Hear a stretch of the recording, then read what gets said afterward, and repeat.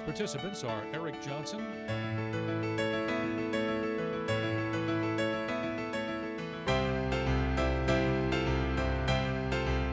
and Marshall Schminke.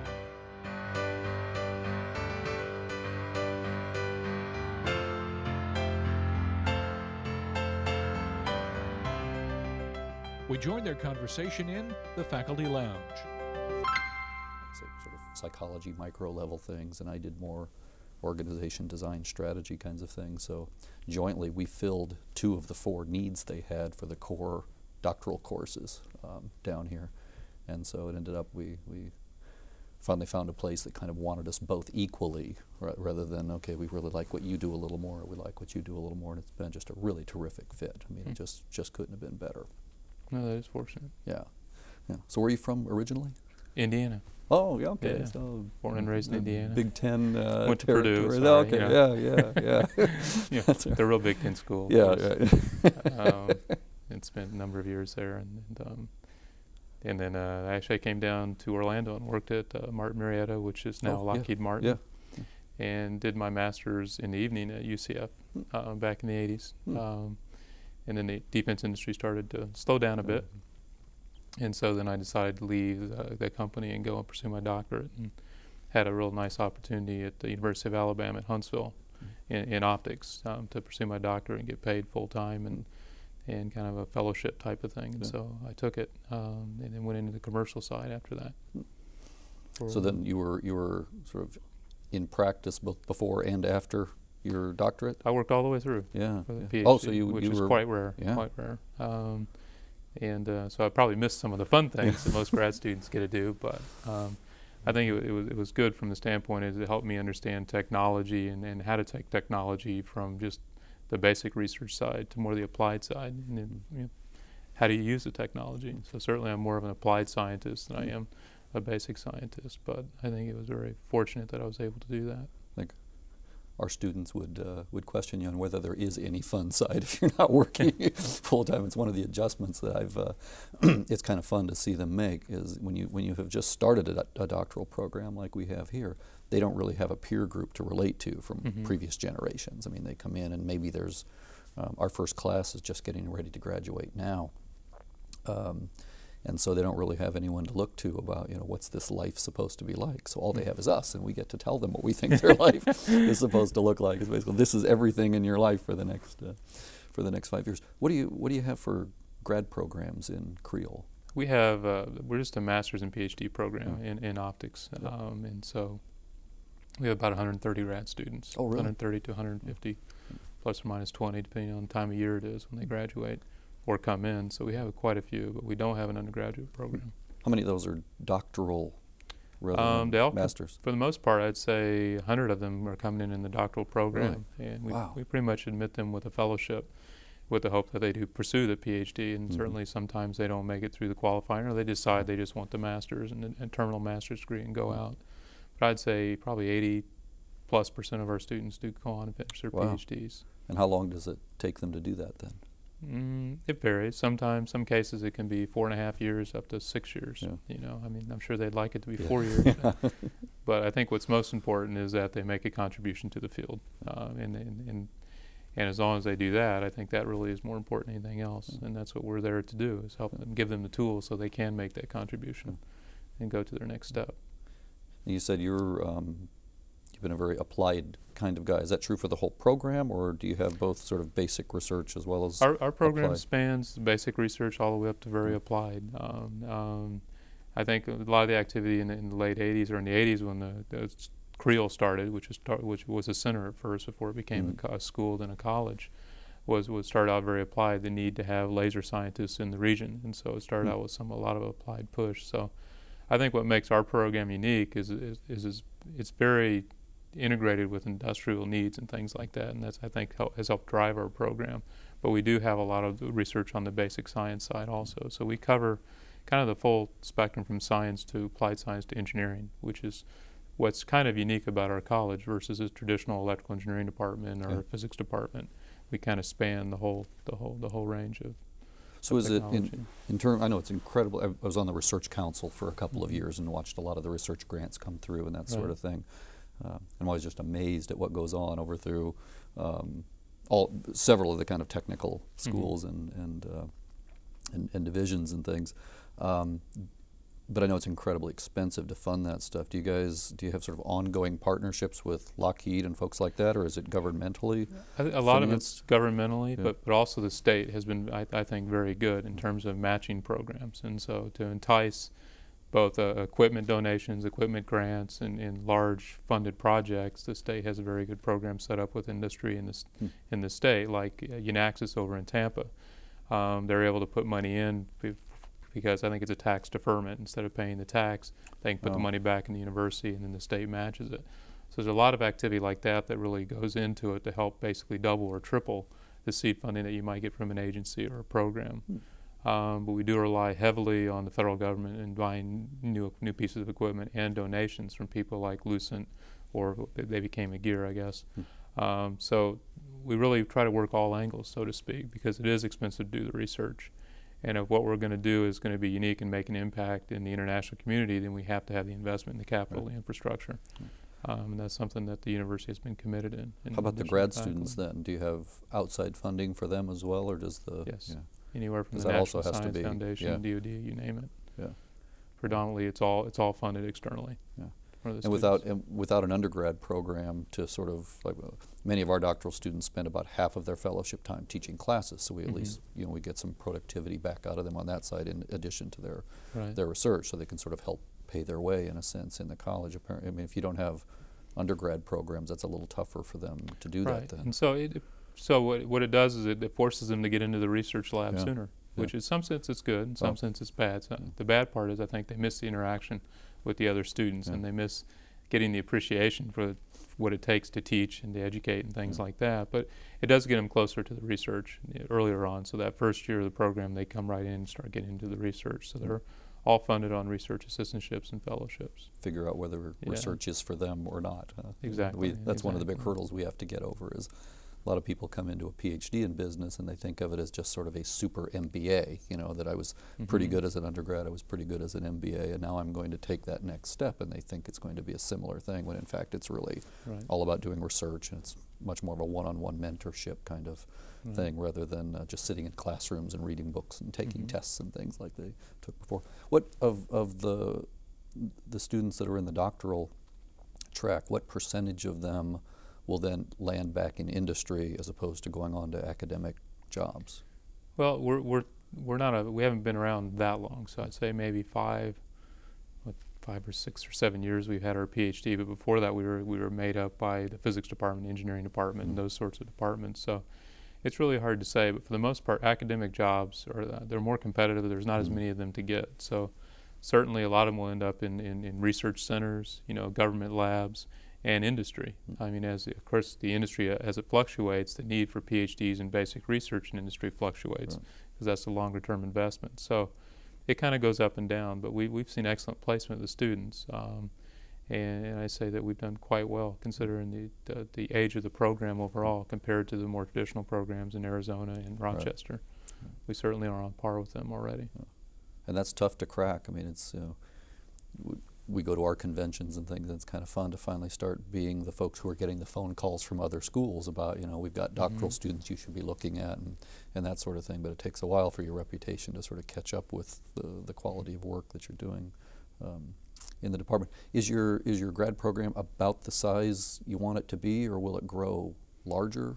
Well, as we bring more faculty, I Yeah. assume it will, it will, it will Yeah. grow larger. I mean, that's that's kind of um, what we're what we're always pushing for, and we do have some more faculty positions that are open right now. So Oh. we will Mm. expand it, and obviously, and bring in some more students to support it. I think there's, I'm not sure what the number is, but there's some mean level of students that a, that a faculty member can support, Yeah. given an average level of funding. And I think if you go too far past that, they could throw things out of balance. So you want to kind of hit the optimal Yeah. uh, peak performance level for the faculty and the students, and the interaction, because you have too many students, you can't have the interaction with the faculty. So tell me about what you do. I know I was Right. noodling around on your web page and I understood virtually none of it. I saw a lot of really interesting terms and a lot of terrific looking science. So tell me, I don't understand. tell me either. what you do. um, well, predominantly what, I- what I do is, is a little different than what other people do. Uh, and if you think about photonics, a lot of people are optics. A lot of people, when they think of optics, they think it's some crazy professor in a lab with a gigantic laser on this big optics Yeah. table with all these mounts and stuff. But what we do is a little bit different. We say to ourselves, now how do we take that lab table system, that optical system for sensing or communications or whatever, now how do we put it down into a chip, just like the integrated circuit industry did in, hmm. in the in the 50s and the 60s? Because you remember the old TVs, you know, back in 1950 or 60, there were tubes, Right. and they went from the tubes into the integrated circuit era.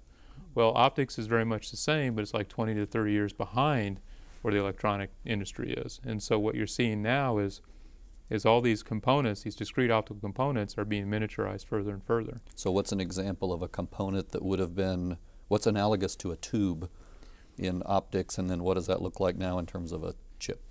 Well, what that would what that would be would be I, I brought a sample. Ah, there we go.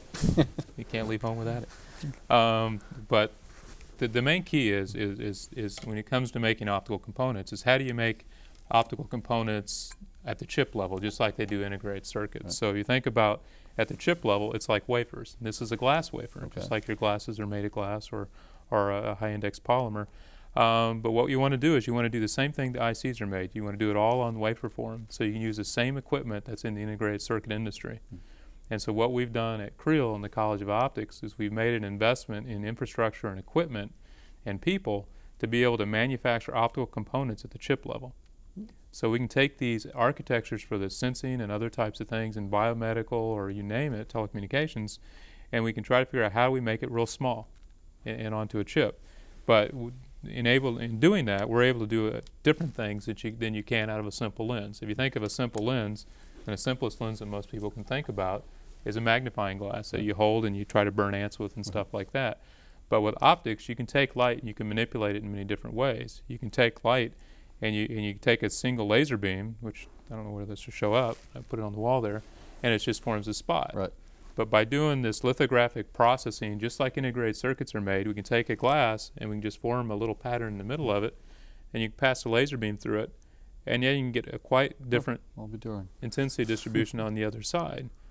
So now, just from a simple perspective, if you like when you go to the grocery store and you see a barcode scanner, it forms some kind of arrays of lines mm-hmm. across the package as you as you scan the barcode image. Well, we can miniaturize components like that, and then you can think about stacking these wafers up, and yeah, you can have a very complex optical system that is manufactured without any human intervention, human mm-hmm. touching it. Because what's done with a lot of optical systems today is they're all done overseas and stuff with low skilled labor. They have people sitting around tables hand assembling stuff. But by bringing this technology to the photonics community, now we can be competitive not, not only as a nation but as, as a group of people in terms of our research and development, leveraging off the technology infrastructure that exists in the United States today with the IC industry, and, and basically making photonic chips just like they do integrated circuits. And we think about other things you need to integrate. You need to integrate the laser source, like I showed here. So there's ways to do that. The detection mechanisms, when light comes back, how do I process that light? You can integrate all those things at the chip level also. And then what you do is you basically have a miniature optical system Hmm. that, that drastically reduces the cost and things like that, which is very important. If photonics is to move from the research side into the consumer marketplace, you have to have cost reductions. And the only way you have cost reductions is getting the human hand out of the Right, loop. right. Um, and the ironic thing is, is that exists already. It exists for the IC industry. It's just a matter of us educating the next generation of engineers and scientists on that technology and saying, here's your platform now, here are your tools, now create. And so that's what we do at the College of Optics and Photonics that is very unique, in, in my opinion, to what you see in the other centers across the U.S. that, that focus on optics. So what would be an example of, if you guys were going out and kind of pitching what you do to business right now, what would be an example of a current product they have that you could improve upon with these sort of micro level optics? Well, like um, probably the simplest thing to think of is laser machining. Lasers are, are, are, are they're they're popping up everywhere in, in terms of uh, laser welding machines and making Mhm. automobiles to medicine.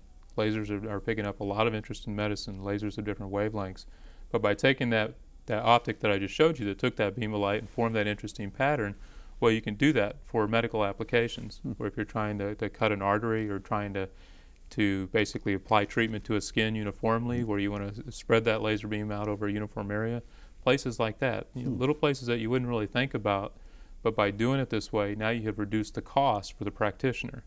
and by doing that, puts the technology into their hands. Otherwise, it's prohibitive. Wow, that's amazing. Yeah. So what's what's the specific application that you're working on right now? Um, a lot of different ones. And one, of the- and, uh, and when I answer that question, I think of the grants that I have and the Mm. diverse range of grants that I have. I have one grant that is involving with making high power laser diodes that basically allow you to get even more light out of the diode and put the light where you want it. And that has a lot of applications in, in, in high power laser systems for weapons and medicine, other things like that. Um, some other things I'm involved in is, is, is basically uh, uh, optics for lasers in medicine. Um, I'm making some optics for people in that area. So um, I also have an NSF grant where I'm trying to say, okay, now how can I take this technology and move it to the next level? And the next level is how do I how do I synthesize or how do I artificially make butterfly wings? If you want to think of it that way. If you think when you look at a butterfly wing, it has this beautiful iridescent color. Well, the color is not real. What happened is light is hitting that surface. It's diffracting light in different ways, and so your eyes will see the beautiful blue and red colors. But now, if we can take that technology and we can manufacture that into optical components, then you have the same spectral selectivity that you do in, in nature. Hmm. So, one of the areas I'm looking at now is how do I simulate things in nature this way so I can int- integrate them in the, in the consumer type technologies. Um, so, it really, it's an enabling technology and it's a platform technology that fits in many different ways. And being an optical engineer, you're there to solve problems. So, people come to you and say, I think this technology has a place. I'm not sure where it is. Can you help me figure it out? And so that's what we do. And then we get the students involved and they learn how to basically one on one engineer with people an application of a technology that, that isn't really sure where it fits, but ends up finding a place because it's so it's so powerful and so disruptive in many ways. And you think right now we're about uh, what 30 years behind in the learning curve from say where we're, we're sort of chip technology and that sort of thing. I think Is that what I mean? Is it really just at sort of the ground level at it's this at the, point? it is Yeah. at the ground level, and, and if you if you study some of the trends that the photonics industry has gone through, and you look three years ago, the big telecom mm-hmm. boom, the photonics boom they Mhm. had there, and you look at what happened, in my opinion, with a lot of their price models, they were basing a lot of their price models on the hand assembly of these systems. Oh. So they could keep the systems at five thousand or ten thousand or twenty-five thousand dollars a pop, whether it was a metropolitan application or whatever. But what they actually found is that there are other ways to do it. If it's that expensive, they're going to go to wireless. They're going to go to other methods. So the technology could be used right now if it was here today, Hmm. but it, the cost, it's all cost. Hmm. I think a lot of things in technology come down to that. If you're going to hit the higher volume applications, you've got to reduce the cost. I mean, you have to do it differently. You have to think of it differently. Um, so that, that that's really what I Yeah. think is, has to happen. So what was what was the experience you had either at Purdue or, or I mean Mhm. somewhere along the undergrad uh, line that got you into photonics? What was the aha moment that? Uh, Well, uh, well, I spent I spent a number of years working at Martin Marietta here in Orlando as I did my master's degree in, in, in optics because CREOL was just starting at the Mm. time in the 80s. Uh, and I saw the optics as being the next generation Mm. of technology. I was working in radar at the time, and I, I believed it was going to happen. And so I basically followed Hmm. my passion and my, my, my belief that it was going to turn into something. And I don't I haven't been wrong. I mean, it's you know, I maybe even underestimated Hmm. Yeah. um, where, where where it went. But I think a lot of it was timing and, and seeing the opportunity and seeing seeing the needs. But working in the defense defense industry, I mean, it was so hard to make things and stuff. And and, and I got involved a little bit with lithography there, and then I saw, wow, you know, optics and this, and if we can do optics this way, there's there's a lot of potential. Hmm. And so I followed my passion from Hmm. that point, and it's, it's led me in a circle to come back Yeah. here, which Yeah. is somewhat ironic. so what was CREOL started in the mid '80s? Is I think that? it's the mid '80s. Yeah. yeah.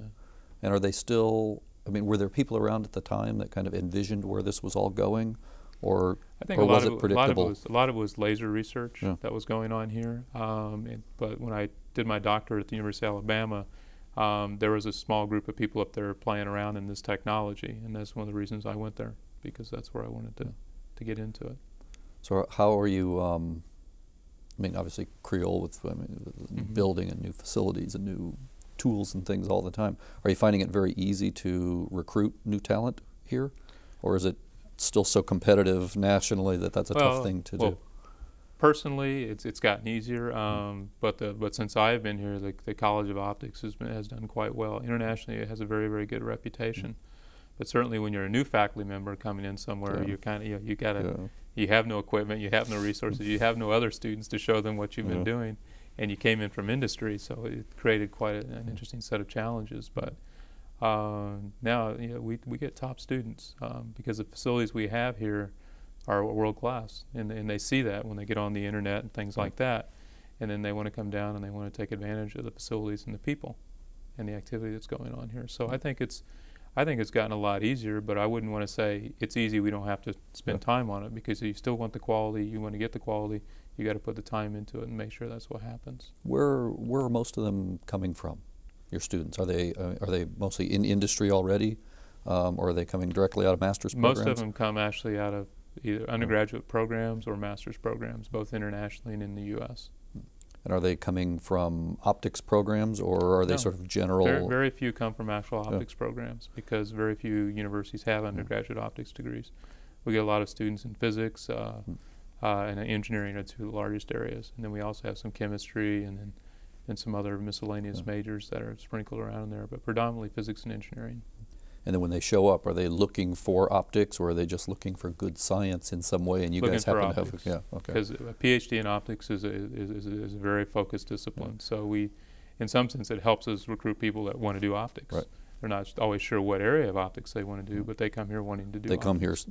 specifying it's optics. It's not Right. something more generally, yeah, uh, Right. sort of broadly applied over in, uh, in Right. CREOL. Yeah. Right. So what else do you do? What else does CREOL do besides?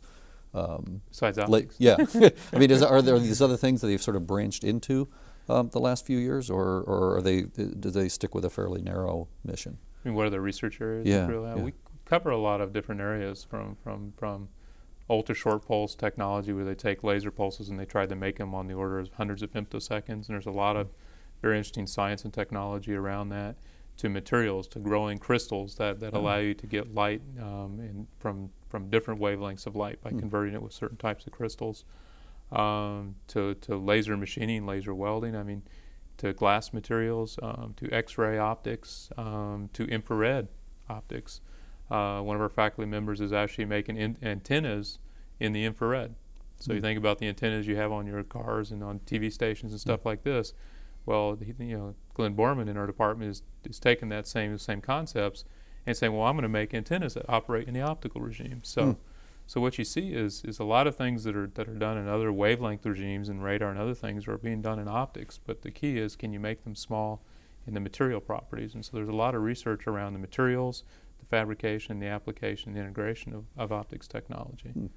So that's why we have people that span the basic science to Right. the engineering Right. in, in diverse backgrounds. And do you have people? I mean, do, as part of your hiring mission, do do you explicitly try to find guys like you that have been in and out of the real world a couple of times, so that you can have those conversations, or or do you have other people on staff over there whose job it is to um, serve as the liaison in between the scientists and the practitioners who are buying this stuff? Well, I, I'm on a I'm on a couple search committees, so I'm involved with getting faculty. If I, I guess Yeah. that's what you're referring to.